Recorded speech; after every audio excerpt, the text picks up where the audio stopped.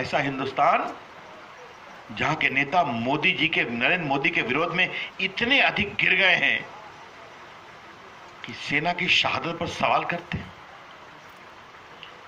उनको बार बार कहा गया कि ये सवाल उठाएँगे तो आपकी तस्वीर पाकिस्तान के टीवी पर दिखाई पड़े। और मैंने खुद देखा है। अहमद शाह कुरैशी उनके विदेश मंत्री हैं। उनका मैं इंटरव्यू देख रहा था। उन्होंने कहा पाकिस्तान के सारे दल इमरान खान के साथ हैं। क्या हिंदुस्तान के दल साथ में हैं? नहीं है। और बाद में सबका कमेंट चल रहा था। कल मोदी जी ने एक बहुत बड़ी बात कही है। और मैं चाहता हूँ आपके इलाके के वोटर के घर घर में यह बात जानी चाहिए कि चुनाव का मुद्दा क्या है। यह चुनाव का मुद्दा है कि आपको बालाकोट का सबूत चाहिए, उरी का सबूत चाहिए या आपको देश के लिए शहीद होने वाले सपूत चाहिए? यह तय करना है आपको। याद करिए, मुझे मोदी जी ने कहा कि सारे मंत्री जाओ, जो पुलवामा में लोग मरे गए, जाओ, अंतिम संस्कार में जाओ। ये मैं गया था तारेगना, मथौड़ी के आगे, वो संजय शहीद हुआ था। लगा नौजवानों ने कमाल कर दिया। हज़ारों की संख्या में बड़े बड़े तिरंगे लेके निकल पड़े। फतुआ में हम लोग पहुँचे, इतना रास्ते में भीड़ थी कि शहीद का शव लेट से पहुँचा। जैसे ही शव पहुँचा, दस हज़ार लोग पहुँच गए घाट पर। यह हिंदुस्तान, ये हिंदुस्तान देश प्रेमियों का हिंदुस्तान है। यह हिंदुस्तान देशभक्तों का हिंदुस्तान है। और यह हिंदुस्तान क्यों हमारे साथ आता है? यहाँ अरुण जी खड़े हैं, बाकी लोग खड़े हैं। राजेंद्र गुप्ता जी खड़े हैं, बाबू राम जी सिंह खड़े हैं, सीताराम पांडे खड़े हैं, आप सभी खड़े हैं। क्या सिखाया गया हमें? एक लाइन, तेरा वैभव अमर रहे माँ, हम दिन चार रहे न रहे। याद है ना? ये सिखाया गया हमें। देश के लिए जीवन होम करना है। अब ऐसे में एक तरफ़ नरेंद्र मोदी ऐसा ईमानदार, प्रामाणिक व्यक्ति है। कल मैंने बात बाकीपुर के भी कार्यक्रम में कही थी, आज यहाँ भी कहूँगा। और मैं चाहता हूँ ये बात आप अपने मतदान में घर घर पहुंचाइए, मतदाताओं क्या। नरेंद्र मोदी की ईमानदारी क्या है? वो चौदह साल गुजरात के मुख्यमंत्री थे। उनका पहले बैंक अकाउंट नहीं था क्योंकि सीधा मुख्यमंत्री बने थे। जब वो प्रधानमंत्री बने, दिल्ली आ रहे थे तो उनके सेक्रेटरी ने कहा कि, सर, आपके बैंक अकाउंट में कुछ पैसा है। अब आप दिल्ली जा रहे हैं। भारत के प्रधानमंत्री बनने के लिए क्या करना है? क्या निर्देश है?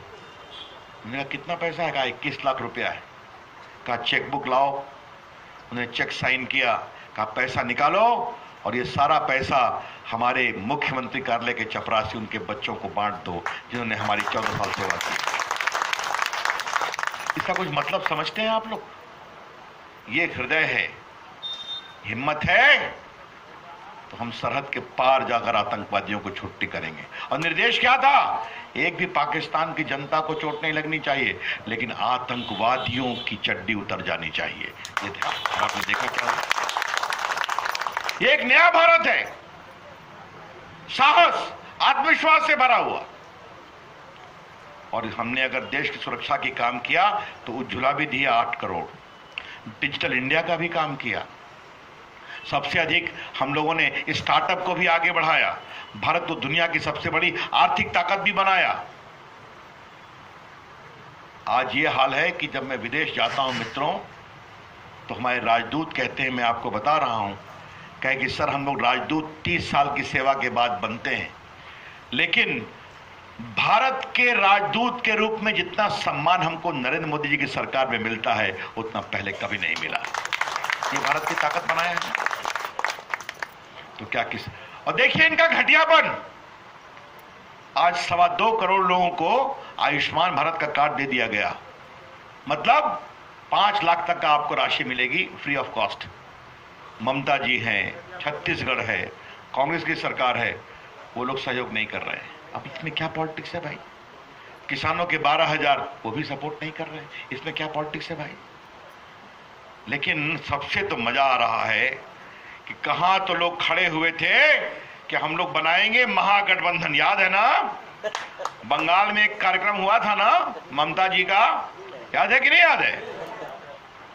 और वहाँ आपके सांसद जी भी गए थे, याद है कि भूल गए आप? और आपके प्रधानमंत्री को उन्होंने क्या क्या कहा था, आपने टीवी पर देखा होगा, मुझे बोलने की ज़रूरत नहीं है। लेकिन हो क्या रहा है? इधर तो एक नेता है, नरेंद्र मोदी, लोकप्रिय। एक कार्यक्रम है। एनडीए का साथ है, बीजेपी की अगुवाई है। देश को आगे बढ़ाना है। उधर नेता का क्या हाल है? मायावती जी ने कहा कि मुझे इलेक्शन लड़ने की क्या ज़रूरत है? मुझे प्राइम मिनिस्टर बनना होगा तो हम किसी का इस्तीफा दिलवा देंगे। तो ममता जी ने कहा, मैं भी तो हूँ, तुम कहाँ से आ गई? तो अखिलेश जी ने कहा, हम कैसे पीछे तो प्रियंका जी ने कहा, मेरा भैया भी तो है, राहुल गांधी, वो क्यों नहीं?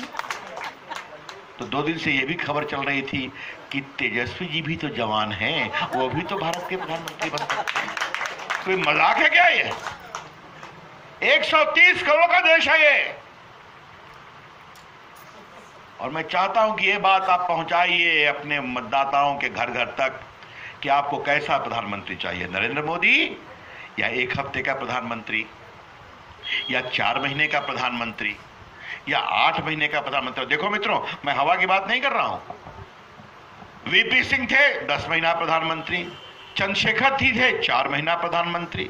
देवेगौड़ा आए, नौ महीना प्रधानमंत्री। अब सीताराम केसरी बिहार के थे, दानापुर के थे, मज़ाक भी करते थे। तो उसने एक पत्रकार से कहा कि देवेगौड़वा बहुत दिन बैठ रही अब ओकरा हटावल ज़रूरी है। समझ गए आप? फिर आ गए गुजराल साहब क्या देश ऐसे चलेगा? आज भारत को चाहिए एक सशक्त प्रधानमंत्री। ये बातें मैं, मैं दोस्तों इसलिए कह रहा हूँ कि ये मामला नहीं रहने वाली है ये मैं आपको कह के जा रहा हूँ। मैं उनकी आवाज़ बनने वाला हूँ। कैसे बनूँगा? अरुण जी के साथ नितिन नवीन के साथ, सीताराम पांडे जी के साथ नंद किशोर जी के साथ, संजीव चौरसे के साथ और आपके साथ हम लोग सब लोग मिलकर पटना साहब की आवाज़ देने वाले